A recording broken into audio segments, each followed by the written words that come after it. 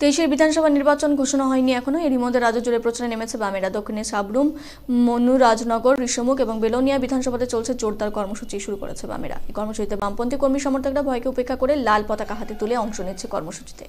বৃহস্পতিবার বেলোনিয়া মহকুমা রাজনগর বিধানসভার একিনপুর অঞ্চলে বামেতে উদ্যোগে হয় পদযাত্রা। পদযাত্রা শেষ হয় নির্বাচনী বাজার সভা, সিপিআইএম মেকিনপুর অঞ্চল কমিটি উদ্যোগে বিভিন্ন দাবির পাশাপাশি বামফ্রন্টকে জয়ী করার আহ্বানে এদিনে পদযাত্রা।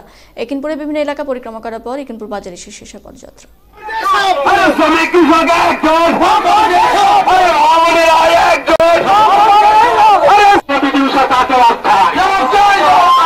বর্তমান জোট সরকারের বিভিন্ন কাজকর্মে তীব্র সমালোচনা করার পাশাপাশি বাম আমলে বিভিন্ন উন্নয়নমূলক কাজে ফিরিস্তে তুলে ধরেন এবং গণতন্ত্র পুনরুদ্ধারের সংগ্রামকে তেজি করার লক্ষ্যে সকলকে এগিয়ে আসার আহ্বান রাখেন বিধায়ক সুধন দাস।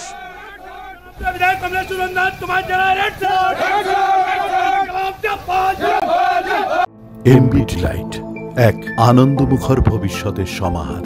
শিক্ষা ও চিকিৎসা কেন্দ্রের খুব কাছে, আবার এনজিপি স্টেশন কিংবা এয়ারপোর্টে সহজে পৌঁছে যাওয়ার পথ এশিয়ান হাইওয়ের ওপর নতুন শিলিগুড়িতে। কুড়ি হাজার স্কোয়ার ফিটের ক্লাব হাউস ক্লাব ডেলিসিয়া রয়েছে swimming pool, kids zone, multi gym আর বিনোদনের অফুরন্ত সম্ভার।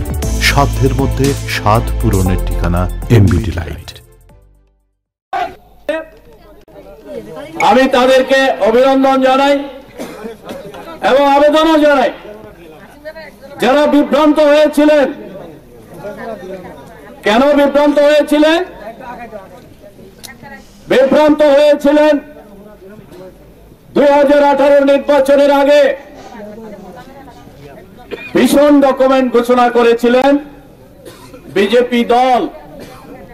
তখন বিজেপি দলের সভাপতি অমিত শাহ আপনারা জানেন আজকে অমিত শাহ আসছে সাবরুমে বিশ্বাস যাত্রা শুরু করতে। সম্ভবত এসেছে। কেন বিশ্বাস যাত্রা করতে আসতে হলো? মানুষ তো বিশ্বাস করেছিল আঠারো সালের ভোটের আগে। এই জন্যই তো বিজেপিকে ভোট দিয়েছিল।